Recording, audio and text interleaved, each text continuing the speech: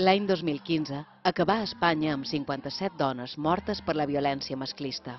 Només 13 havien denunciat. Es presentaren 27.600 denúncies, un 2% més que l'any anterior. Per edat, quasi la meitat de les víctimes, el 48%, tenien entre 25 i 39 anys.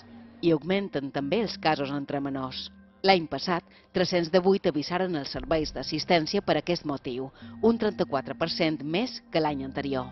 A Balears, el 2016 és de moment un any negre amb tres dones mortes a mans de les seves parelles o exparelles. El mes de gener morí Lisa, de 49 anys, a la costa de la Calma. El passat mes de març, Victòria, a Son Cervera, amb només de 9 anys. I fa tan sols dues setmanes, na Lucía, de 46 anys, al port de Pollença.